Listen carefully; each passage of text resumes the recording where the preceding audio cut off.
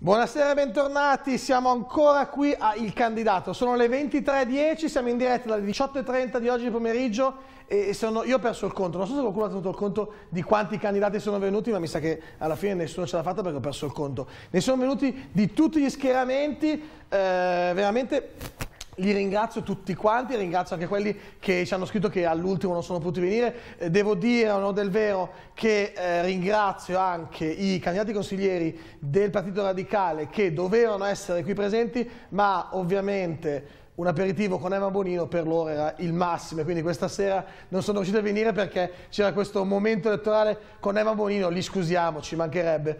Per fortuna abbiamo avuto tanti altri ospiti e ne abbiamo qui quattro, abbiamo qua la nostra platea completamente completamente piena. Toscano l'ho interrotta poco fa mentre parlavamo appunto di Area C che mi spiegava un discorso che ci vorrebbe una trasmissione solo per quella, però concluda pure di cosa quello che stava dicendo appunto. Diciamo che immaginerei una città molto più vi vivibile, eh, purtroppo eh, i trasporti sicuramente sono un problema, ma se potenziamo i mezzi pubblici molto di più di quello che è stato fatto fino adesso, tenendoli magari anche eh, bene, puliti, efficienti e quant'altro, e ehm, risparmiamo il traffico automobilistico perché eh, potenziamo anche la mobilità sostenibile tramite eh, mezzi alternativi, insomma eh, bike me può essere ulteriormente potenziato nelle periferie per esempio, e poi speriamo che in futuro mano a mano si possa insomma ridurre okay questo traffico, io lo vedo un nemico Perfetto, perché un nemico. già Milano ha grossi problemi di inquinamento anche a livello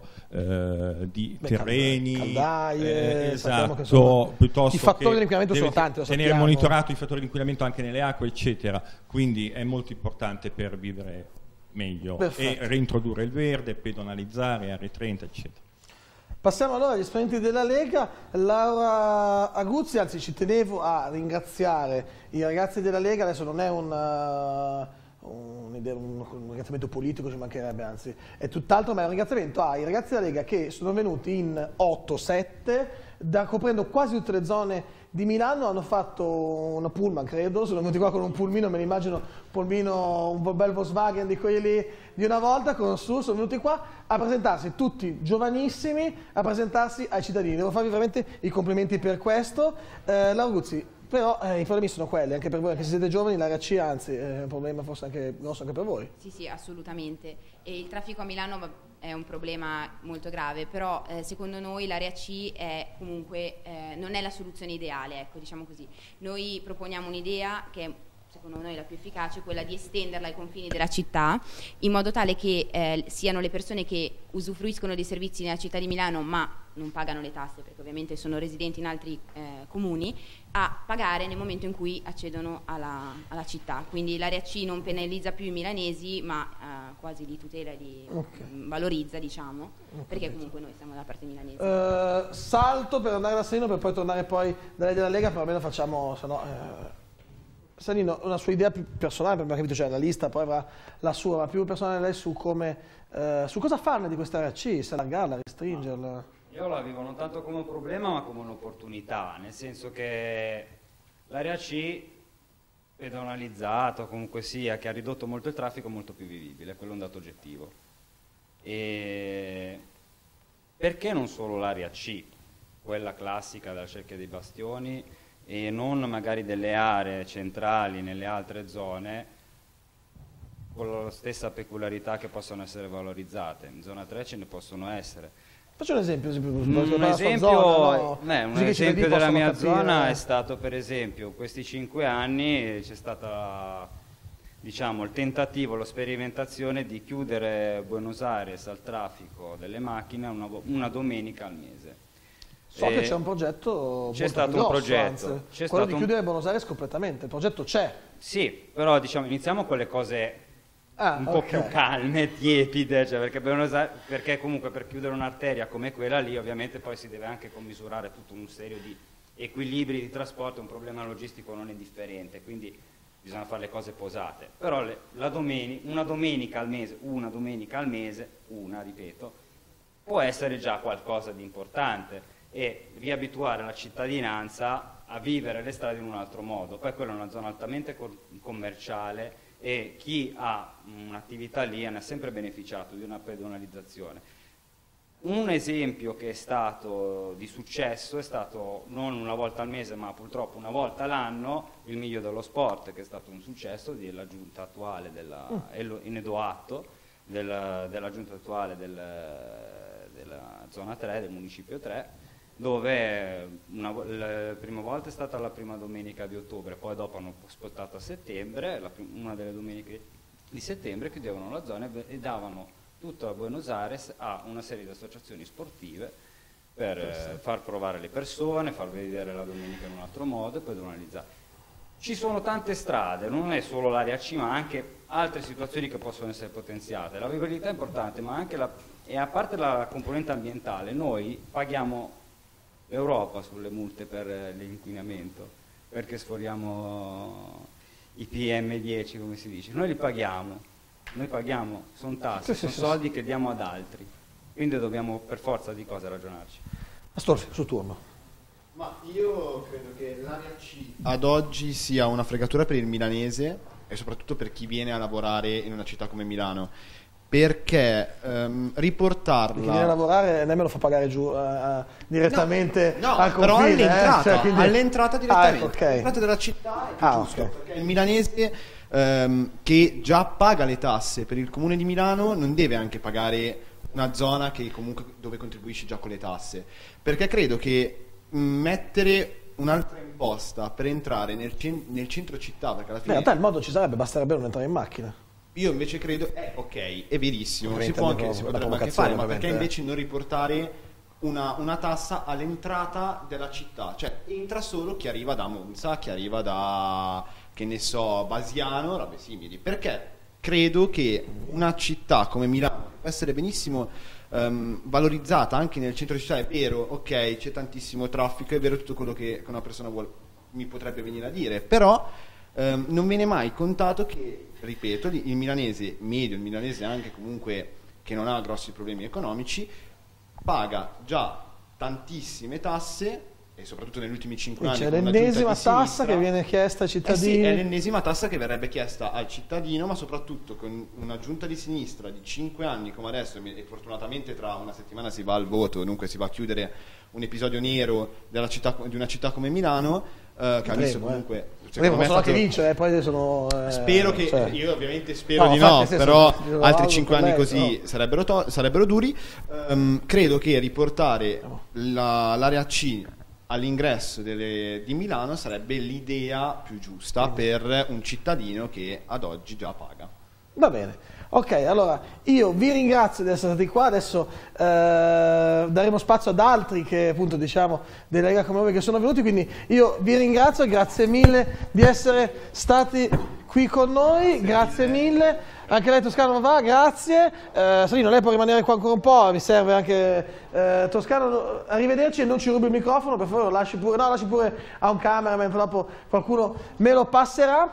E quindi eh, chiamo e chiedo di venire, di raggiungermi in studio a un altro esponente della Lega Nord, giovane anche lui, Mircolo Russo, candidato per la Lega in municipio di 6, giusto? Municipio 6. Prego, lo Russo, quello è...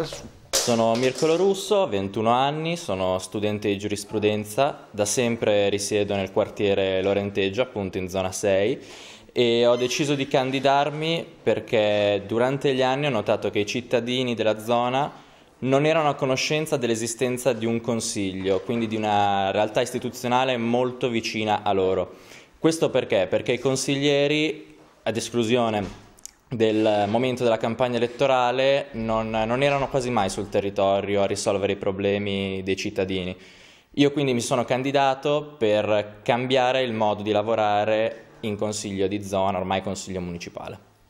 Prego, prenda pure posizione, eh, va benissimo, ecco in quella centrale benissimo e invito ad entrare il suo collega, candidato al municipio 1, ricordiamo quello che abbiamo definito questa sera, l'unico municipio senza periferie, invece poi ci hanno spiegato che in realtà non è poi neanche così. E quindi lo invito ad entrare, prego. Grazie mille, questo è il suo microfono, i suoi 20 secondi di presentazione. Mi chiamo Sergio Grattarola, ho 27 anni e sono di Milano. Milito in Lega da qualche anno, ho deciso di candidarmi perché ho già in qualche modo promosso la città durante Expo, perché ho eh, collaborato con il padiglione coreano, il padiglione di Stato cinese, il padiglione Vanche e il padiglione Vino. Inoltre ho fondato due associazioni, che è l'associazione Lombardia Cina e l'associazione Lombardia Corea del Sud, che si occupano di promuovere eh, dei collegamenti tra la Lombardia, in particolare Milano, e queste due entità. Prego, quello è il suo posto. Allora, Lorusso, parto da lei, l'ho fatta a tutti questa domanda, la faccio anche a lei. Cosa porterà lo russo, una volta allora riesca a convincere chi è a casa a, far, a, a votarla, in municipio 6. Porterò la voglia di lavorare, la voglia di, di stare sul territorio sempre, tutti e cinque gli anni, e mi metterò al servizio dei cittadini, perché io sono dell'idea che il politico, la politica in generale, deve essere una, un mestiere di servizio e mai di potere. Eh, noi in zona 6, municipio 6, abbiamo moltissimi problemi, in particolare sulla tratta Lorenteggio-Foppa, dove hanno aperto recentemente dei cantieri devastanti della metropolitana della linea 4 che non sono gestiti in maniera ottimale da, da questa giunta, da questa amministrazione. Che non ci abbiamo qua. No, perché noi siamo favorevoli alla metropolitana. Ah, okay.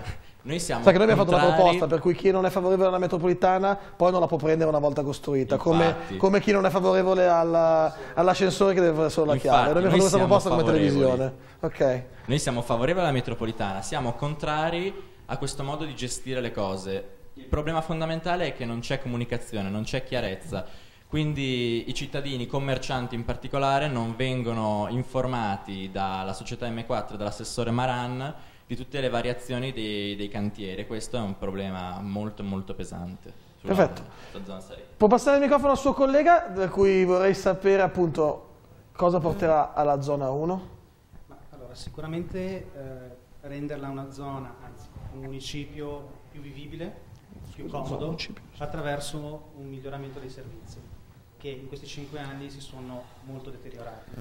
Oggi ad esempio per lavoro l'ho girato praticamente tutto, il municipio, sia sui mezzi pubblici. Ricordiamo, sia... il municipio 1 è il municipio centrale, è l'area centro C, storico. L'area C, centro storico di Milano. Parco di Sempione, giusto? Esatto, Quello. fino all'arco della fino pace. Fino all'arco della pace, ecco.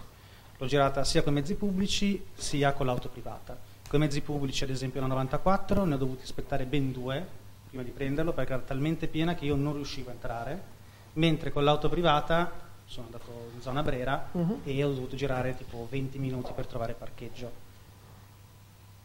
Così come ho avuto problemi io, ce li hanno anche i residenti ogni giorno, ce li hanno anche i pendolari ogni giorno. E sicuramente... questo lo chiedo perché effettivamente eh, quando si parla di Milano appunto il problema sono le periferie, sono la sicurezza delle periferie e poi eh, quando si parla di municipi Ah, il municipio 9 ha questi problemi, c'è la Bovisa, il municipio 8 c'è problemi sulla Gallaratese, il municipio 7 ha, ah, dopo San Siro è Steppa, così. Il municipio 1 è, uno dice, è il municipio dei ricchi, dei sciur, no? no Stanno tutti bene lì. E invece ci sono dei problemi anche lì? Ci sono dei problemi anche lì, perché ad esempio facendo valentinaggio nei mercati, molti anziani che abitano in centro, ma non perché sono ricchi, semplicemente perché hanno la casa di famiglia, e quindi la casa che hanno ereditato dai genitori, adesso si trovano a vivere con una pensione, con una pensione che è insufficiente anche magari a pagare le spese condominiali.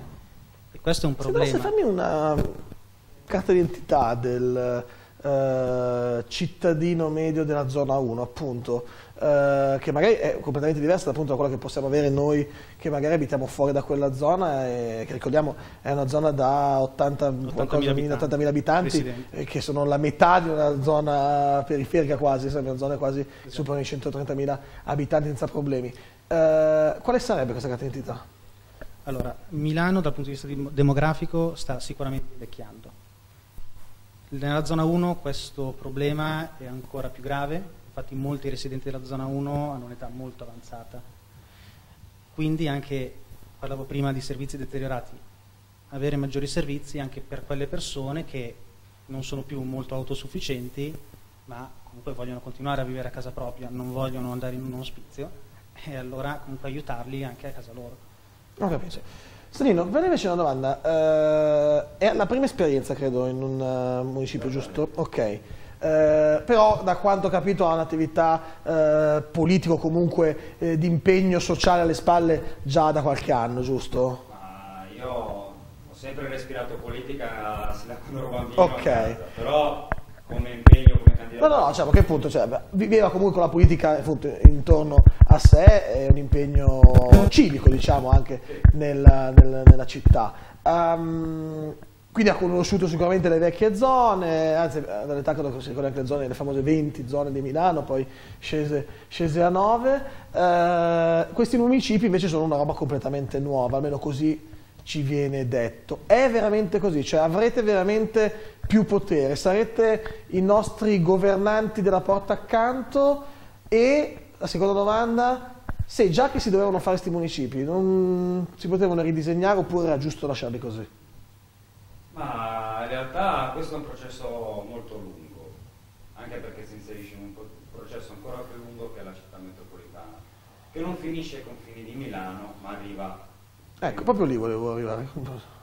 Attualmente la giunta, la giunta, è impegnata anche a disegnare uno statuto, a valutarne anche una possibile eleggibilità del sindaco metropolitano cioè, ci sono tanti. La idea che parte è stata? Quelli che vuole il sindaco eletto oppure che il sindaco di Milano sia il sindaco della città metropolitana?